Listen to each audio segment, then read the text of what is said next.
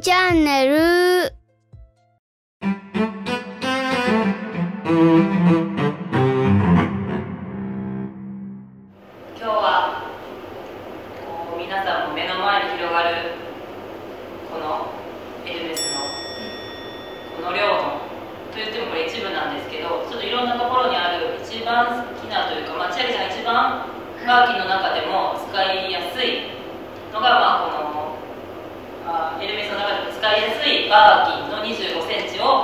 とランダムに集めてみました、はい。もうね。うん。どうですか？改めて。えー、なんかこんなにあったんだ。まだそうなんですけど、うん、なのでちょっと今日はこの画像も大いに楽しんでもらいながら、そうですね。いろいろ聞いてみたいと思ってます、えーその一番手前にある。うんはいこれ、はいそのもうすごいそれこれはやっぱ貴重ですよね。ヒマラヤヤのしかも2 5センチ。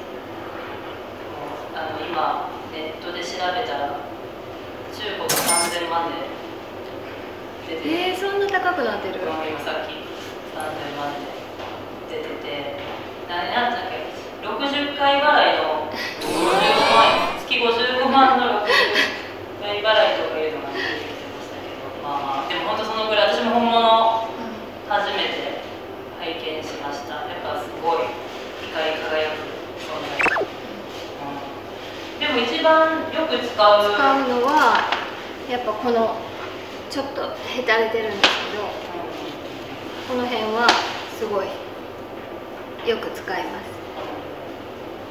す。チャームもあんまりつけないチャームもあんまりいっぱい持ってるんですけどつけないあんまつけないですね。2D も巻くやつ。でそのスタイリングするときになんかバーキンを持つ時のお洋服のスタイリングでなんかありますかなんかここゴールドとシルバーがあるじゃないですか。で身につけるアクセサリーがシルバーの時は絶対にシルバーを持ってゴールドの時はゴールドを持つようにしてます。アクセサリーとかと、まあ、金属の色味を。そうですね。ああそうか。ミックスしない。ミックス。しない使ってない子とかもありますよ。なんか黒子はそうこの辺とかその辺とか黒子はやっぱ気使って使いにくい。あの今ネットで調べたらうあんバーキンの革の種類もはいまあそれぞれ、うんでまあ分かりやすく言うとそのまあクロコダイルうん。でこのクロコダイルが一重にまあクロコダイルと言いますがはい。アリゲーターとクロコダイルとに分かれていてあの分かれていへーることができてそうなんや。いてで刻印がそのすごく分かりやすくあのメイドインフランスうんうんの後に丸が2つのこと四角が刻印で押してあるでしょ、えー、初めて知それでその丸2つがまあクロコダイルで、うんうん。でアフリで四角カが。四角が、えっと、アリゲーター。でもアリゲーターって言わない。よアリゲーターって読まない。だからみんな黒子でも今な持ってるのも丸2つの方が多いえ四角四も全然ある。うん、っていう住み分け四が角が多いかな。できてる。うん。でなんかアリゲーターはまあアメリカ産。うん。でクロコダイルはアフリカ産で軽い。やっぱり牛革よりも軽くて、まあ、型崩れしづらいう、色もすごい発色もすごい素敵よねね。やっぱりでもやっぱこのアリゲーターとかクロコのいいところは全然型崩れしない。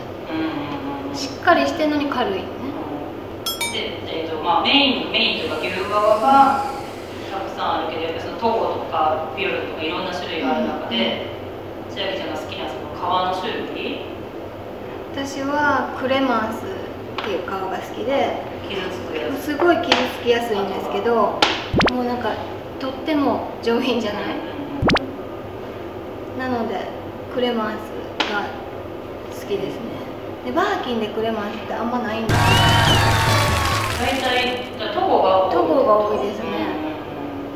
まあ、強さとか。そう。なのでなんかクレマンスの上品さがすごい好きです。でもねまだまだとっておきのバーキンが。そう。見せたいバーキンがあってそれは次回の動画で見せていきたいと思います。それでは。はい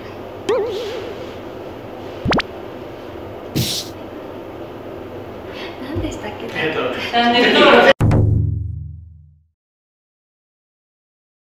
ぜひ今後も、えー、とエルメス特集や他の動画も配信していきたいと思うので皆さんチャンネル登録お願いします。バイバイ。